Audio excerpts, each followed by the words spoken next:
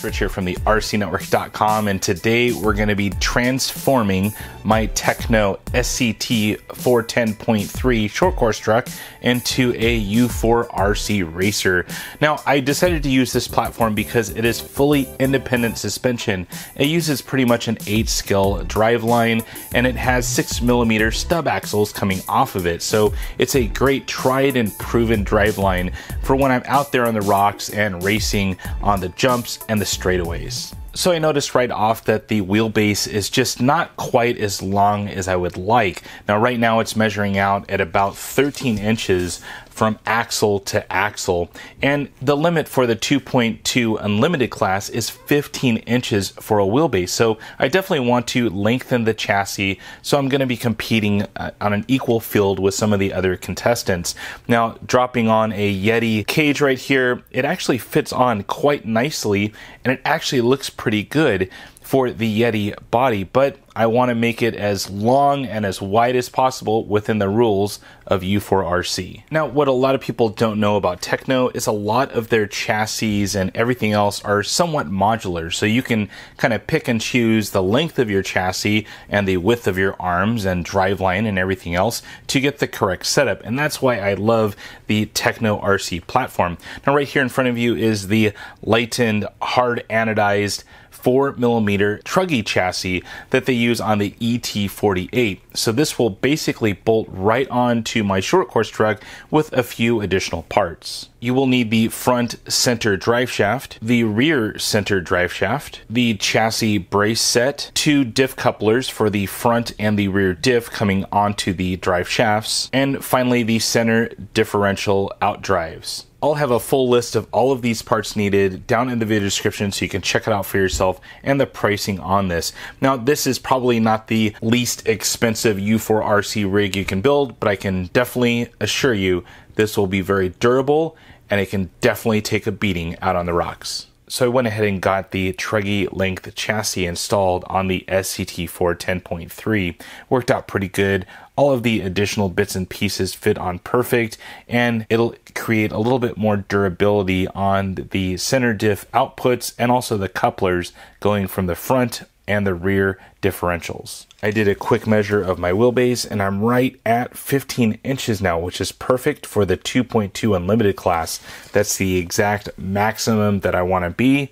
Should work out good. Went ahead and stacked the short course chassis on top of the Truggy Link, you can really see that extra two inches that the Truggy chassis gives you. So nice little extension and you can make it all work with all of the Tekno parts. Next step in this build is getting a cage that fits and I picked up the team associated Nomad cage, the Nomad driver cockpit, and also the Nomad driver helmets right here to give me that scale look inside the cabin. I'm going to go ahead and get these things all assembled and we'll take a look at it on top of the Tekno chassis. So taking a look at the electronics that I installed, went ahead and installed the ProTek 170 SBL, that's their black label version lots of torque, lots of speed, great servo, and it's a full aluminum case, so it should do pretty well in this U4RC rig.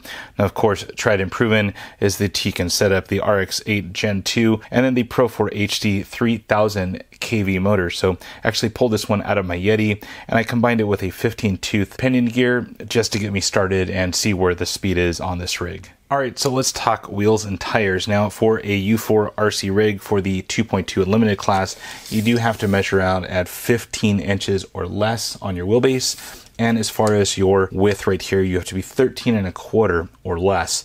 So it was a little bit tricky fitting this short course truck with some SLW hubs and of course these Vanquish KMC wheels right here. Uh, these are the aluminum 2.2 versions, quite nice wheels and wanted to pair it with this rig. So had to get kind of creative with not only the SLW hubs, but then also the can size that's actually on the inner ring of these tires. So um, ended up using the standard ring that comes with the KMC wheels, which is a 1.25 ring that goes on the inside to lock the B down. Now on the rears, I had to get quite creative because the rear arms and hub carrier are quite wide and I couldn't quite clear into the actual wheel. So the rear cans, I went with the CarterFab machine one inch can. So a little bit narrower can, brought the tire in and actually brought the wheel in a little bit closer to the center of the vehicle. So ended up using a little bit wider SLW hub in the rear, a 725 versus a 600 in the front. So right now I'm measuring perfectly at 13.25 inches as far as my width. And of course my wheelbase is exactly 15 inches with this truggy length chassis. Now tires, of course, the Proline Hyrax 2.2 inch are great tires for U4RC and I'm just using their dual stage foams on the inside. Quite a nice package and it works quite well on the truck that I run this at. Now, as far as that team associated Nomad Cage had to jump quite a bit ahead of everyone and get this thing done for a race that's literally in just a few hours tomorrow morning. So had to get this thing all buttoned up. I bolted the actual cage together. That was the first part number that you guys saw. And then I added the interior and just painted it a black finish and put like a matte finish on the outside. I'll have links to those items in the video description along with a video on how to actually make that look matte. So the driver figures went in, also little heads right there. So those numbers will also be in the video description. Now, as far as the body and the body panels, those are custom made. It is just 0.025 thickness aluminum cut it with some tin snips and basically made a template first and just got this thing going as quickly as I could. This little bump in the hood, I it was actually some cage in there that I was planning on not putting anything on, but it was pretty easy to just go ahead and use the cutout right there, bend it, and make it look kind of like a little hood bump. So should should do pretty well, and uh, definitely like the way that this. Uh, cage turned out. Got all the graphics from, of course, Freaky Skins on there. Neil does a great job with uh, getting me some pretty cool looking graphics um, all the way to the backside. I know this is just a decal for the fan, but it looks good and got, of course, all of the Tekno uh, logos on there to show everyone that it is a Tekno vehicle, not a Yeti or a Nomad or a Rock Rey because this is a fully independent suspension rig. So turned out pretty good. And let's go ahead and show this thing on the rig because I got to go racing. Well, there it is. This thing turned out great. Now, one thing that I still have not figured out is the actual body mounts. I may end up just zip tying it for the race tomorrow. There's some places on the shock tower to zip tie into the cage. I know it's kind of a pain in the butt when you have to switch batteries out, but I may just charge it in the vehicle. I don't like to do that, but may end up having to do that for this race. But um, all in all, it turned out really nice. I love the way it looks. Of course, Tekno's durability is second to none. This thing is going to be a beast out on the U4 RC track, and I can't wait to run this thing. So it's going to be a little bit uh, getting used to, especially in the first couple of heats as far as the shock package, and then also the uh, electronics and as far as the uh, the pinion gear. So I'm gonna have to really test it out and see what it can do. Hopefully, I'll have footage for you guys as well. So stay tuned for that.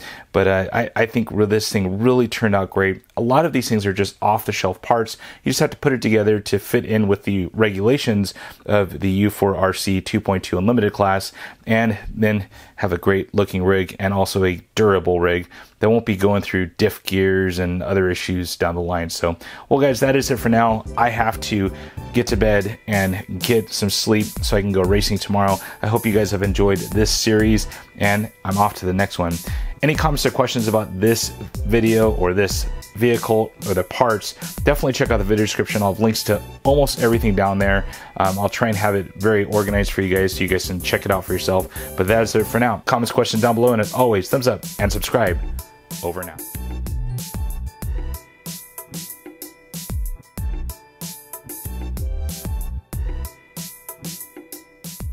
Yeah.